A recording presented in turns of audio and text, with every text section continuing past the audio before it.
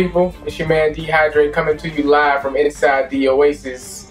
For anybody who's been following me for a little bit of time, if you look behind me, I guess this looks pretty different to you. I should probably do an updated studio tour video because a lot has changed as I look around. It's definitely been a lot of stuff that's changed that you guys should check out.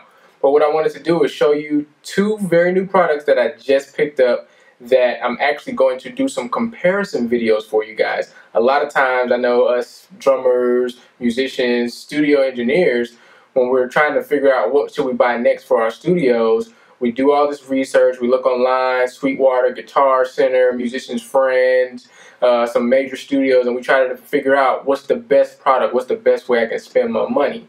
Well, what I'm going to do is these two particular products that I have right here, I want to compare them to some of the stuff that I already have to see if I'm actually upgrading my sound quality, if I'm going backwards, if it's only a subtle difference, you know, different things like that that we often try to figure out that is very hard to do sometimes. You search online and you can't find the video for the products that you're looking for. So let me show you these couple of products and then I'll let you know how these tests are going to work. So the first thing I have here is the Focusrite Octopre MK2 been really looking forward to this guy. I've been rocking with for the past uh, probably four years. The uh, PreSonus Digimax LT has been great to me. I have several records done with this preamp. Uh, it's been on the radio, so it's definitely a very good preamp. But the problem that I have with it currently is that it only goes up to 48K and I have started recording at 96 and I'm not going to get into the debate of why I started recording at 96. For me, it just sounds better and we're just going to leave it at that. So definitely getting excited about hooking this bad boy up to check it out. I'm actually going to put these two right next to each other and I'm going to do some head-to-head -head comparisons with this versus that. Also, I'm going to compare a couple more things. I'll tell you about that in just a second. The next product I have here for you is the Antelope Isochrone OCX. Now this right here, this is what some people consider to be secret sauce or secret weapon. I've also heard stories of these things being in major recording studios and flipped backwards inside the rack so people couldn't see what they were. This is a word clock that is very high end and I am very excited about this. I really can't wait to hear how it sounds and how it just makes everything just sound so much better in here. I mean, it already sounds pretty good, but this guy right here is really going to take it to the next level.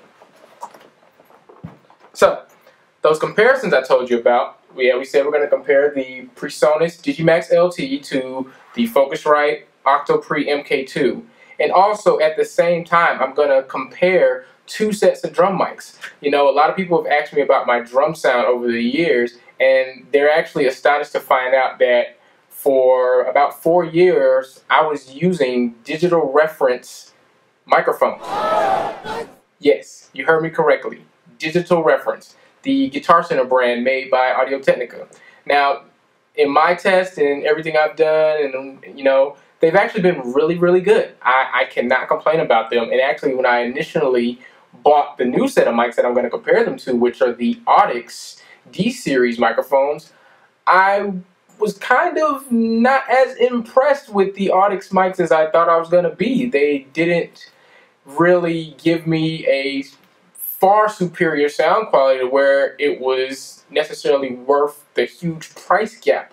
But that's just my personal opinion and a few other people that I've let hear those tests. And if you want to check those initial tests out, you can go to my SoundCloud page, which I will post up here and at the bottom of this um, this video. But what I'm going to do is I'm going to do a fair comparison, uh, actually head-to-head -head comparison of those two drum mic packages, both through the PreSonus and through the Octopre to give you guys a true honest comparison. Now some of these comparisons will have video footage with them and then most of this stuff will be posted on my SoundCloud page for you guys to check out and again I will post that link at the bottom of this video. So stay tuned guys. I know you guys are probably looking for a drum video you're probably like, oh, why is he sitting in the studio? I want to hear him drum. Well, don't worry.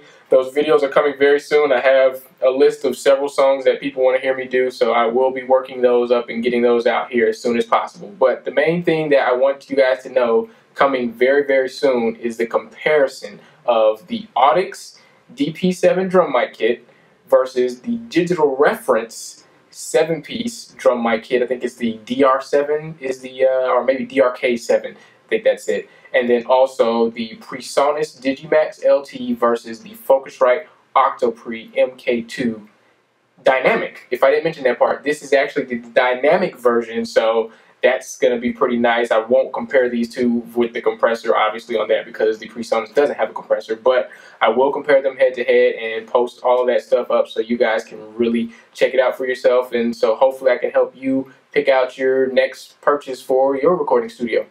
Until then, stay hydrated. Peace.